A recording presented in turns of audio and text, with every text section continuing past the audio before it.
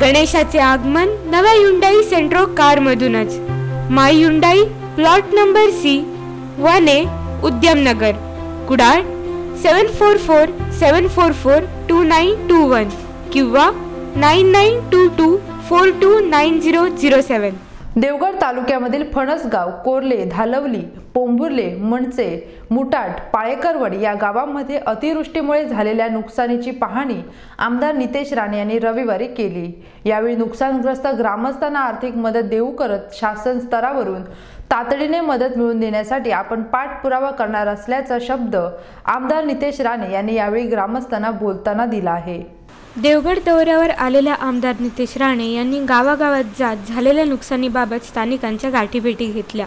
यावेळी त्यांच्यासोबत महाराष्ट्र स्वाभिमान पक्षाचे पदाधिकारी व कार्यकर्ते तसेच अधिकारी उपस्थित होते.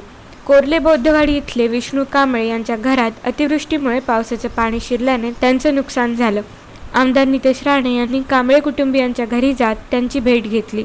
त्यांना आर्थिक मदत देऊ करत शासनाकडून लवकरात लवकर नुकसान भरपाई मिळवून देण्यासाठी खंबीरपणे आपल्यासोबत आहोत असं सांगत धीर दिला.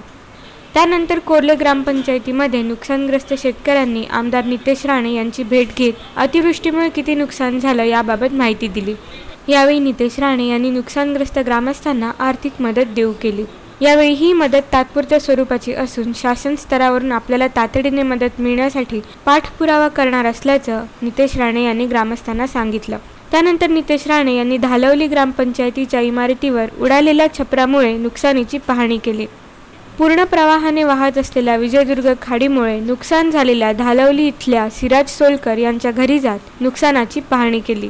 यावेळी उपस्थित ग्रामस्थांनी खाडीपात्रातील गाळ उपसून त्या ठिकाणी बंधाऱ्याची उंची वाढवणं गरजेचे असल्याचं मत नितेश राणे यांच्याशी चर्चा करताना व्यक्त केलं. त्यावर आपण प्रस्ताव तयार करून विजयदुर्ग खाडीमुळे होत असलेल्या नुकसानीबाबत कायमस्वरूपी तोडगा काढू असं आश्वासन नितेश राणे यांनी ग्रामस्थांशी बोलताना दिलं. मनसे नदीतील गाळ उपसणे गरजेचं असून या ठिकाणी असलेला बंधारा देखील ढासळत आहे. त्यामुळे इथलं पिण्याचं पाणीही खारट झालं असल्याचं ग्रामस्थांनी नितेश राणे यांच्या निदर्शनास आणून दिलं. एकीकडे पावसाने कहर केल्यामुळे हातातोंडाशी आलेला भात शेतीचा घास निघून जात असताना पीक विम्याच्या बाबतीतही विमा कंपनीकडून आमच्यावर अन्याय होतोय. असे सांगत ग्रामस्थांनी नितेश राणे यांचं लक्ष वेधलं. पीक विम्याबाबत पीक विमा कंपनीशी लवकरच चर्चा करून आपल्याला लवकरात लवकर विमा रक्कम मिळावी यासाठी आपण ग्रामस्थांसोबत असल्याचं नितेश राणे यांनी यावेळी ग्रामस्थांना सांगितलं. झालेल्या पावसाळ्यामुळे मोठ्या प्रमाणामध्ये भात शेतीचं नुकसान झालेलं आहे. जवळपास ह्या सगळ्या गावांमध्ये जवळपास नव्वद टक्के तरी भात शेतीचं नुकसान झालं आहे. तसे असे प्रश्न खरं मतं ग्रामस्थांच्या समोर आहे आणि गाळ न काढल्यामुळे पण पूर परिस्थितीमुळे नुकसान झालेलं आहे. म्हणून सरकारकडून ह्या सगळ्या गोष्टींचे योग्य पंचनामे करून जास्तीत जास्त नुकसान भरपाई ह्या पूर्ण भागाला भेटलीच पाहिजे अशी मागणी मी येणाऱ्या दिवसामध्ये कृषी मंत्र्यांकडे करणार आहे. कारण का उपलब्ध असलेली दोन कोटीची जे काही निधी उपलब्ध झालेली आहे असं आम्हाला सांगण्यात आलेलं आहे.